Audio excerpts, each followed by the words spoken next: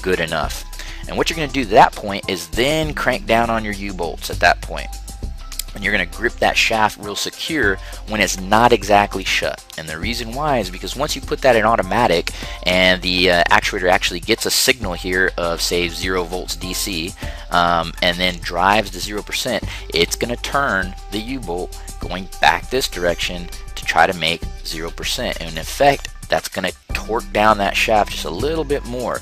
Therefore, you're ensuring that you're closing that damper to 0% and there's not going to be any leak by, or at least you're, you're you know, doing the steps to make sure to prevent that, right? And that's my little tip. Um, pretty simple, guys. Um, but hopefully that'll help you out next time you're out on the job site and, or you got some subcontractors maybe or someone else is doing the work for you. Great little tip to do when you're doing some installation.